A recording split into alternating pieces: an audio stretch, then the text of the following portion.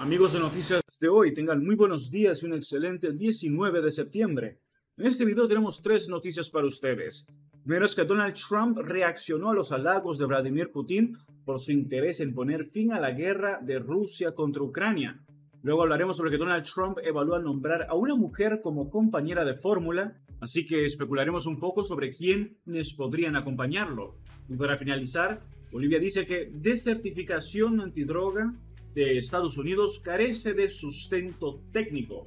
Les recordamos que si quieren apoyarnos, no olviden comentar, suscribirse, dejar su me gusta, compartir el video y darle click a la campanita de notificaciones para no perderte ninguno de nuestros videos.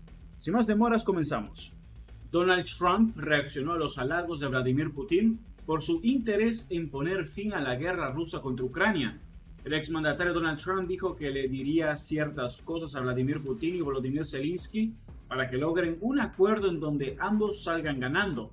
Donald Trump agradeció al presidente ruso Vladimir Putin por los halagos que le hizo sobre su interés de poner fin a la guerra de Rusia contra Ucrania y cuyos planes que incluyen al líder ucraniano Volodymyr Zelensky.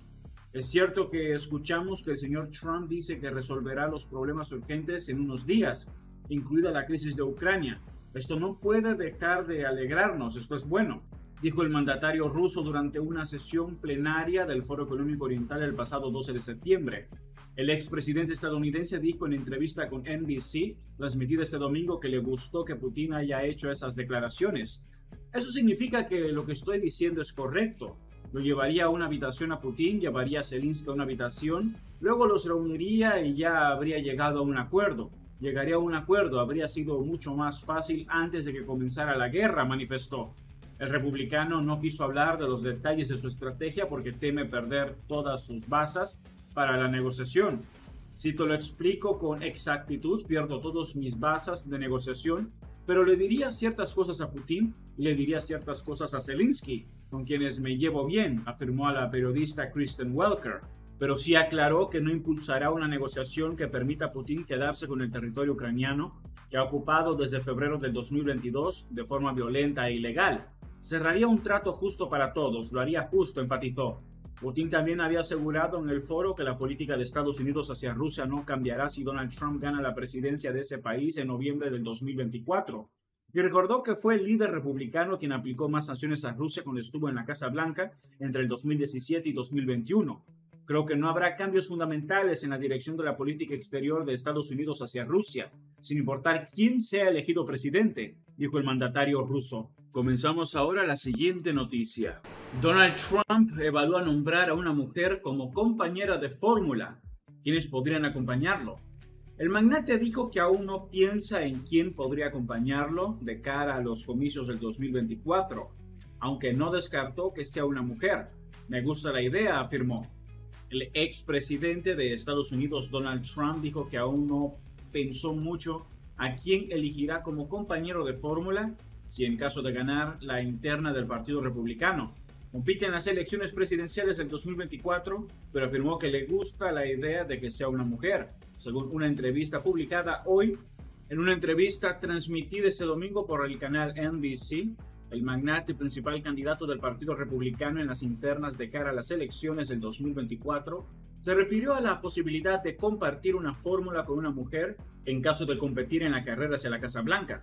Me gusta la idea, pero elegiremos a la mejor persona, sostuvo el magnate.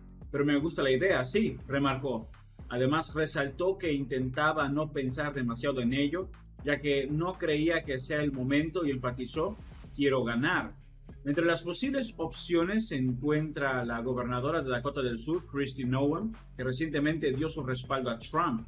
Trump dijo que sería alguien a quien consideraría elegir, calificándola de fantástica. Ha sido una gran gobernadora, dijo. Ella me dio un respaldo muy completo, un hermoso respaldo en realidad. Y ya sabes, ha sido un estado muy bueno para mí.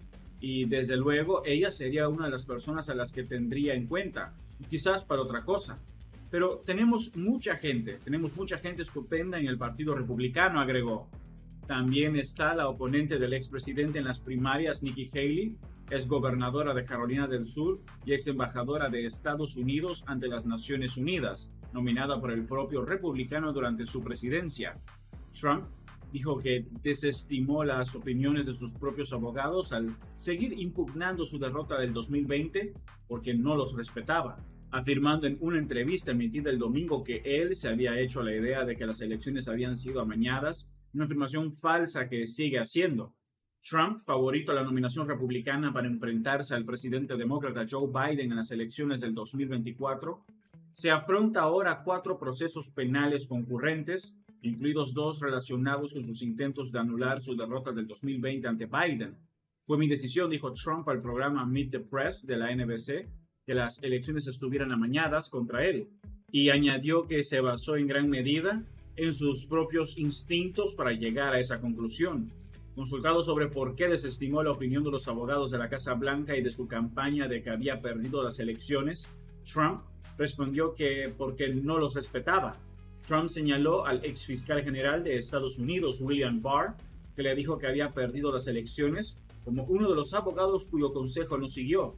Escuché a algunas personas, dijo Trump, tipos como Bill Barr, que era un duro, pero no estaba allí en ese momento pero no hizo su trabajo porque tenía miedo. Comenzamos ahora la siguiente noticia.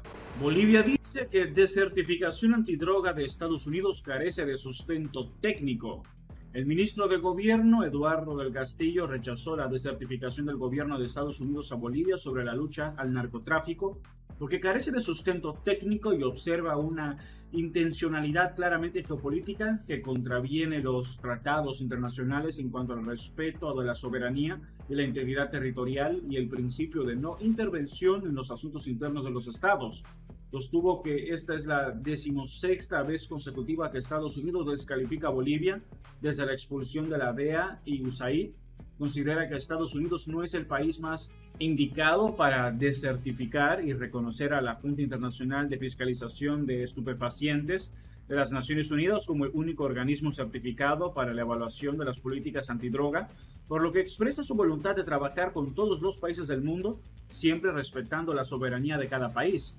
Cree que Estados Unidos, en vez de atribuirse competencias que no le corresponden, debería tomar conciencia de lo que ocurre dentro de su territorio en cuanto al consumo desmedido de drogas ilícitas, que ocasiona un incremento descontrolado de la demanda internacional.